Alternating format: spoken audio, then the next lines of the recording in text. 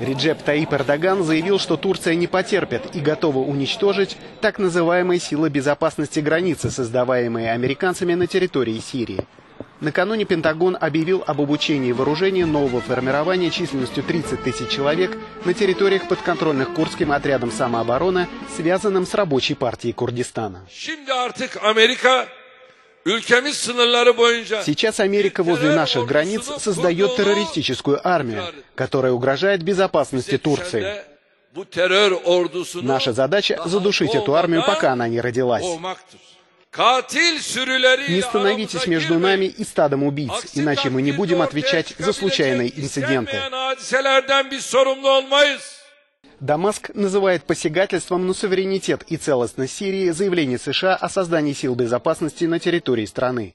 В то же время он обвиняет в агрессии и Турцию, которая развернула свои войска в северных районах Сирии.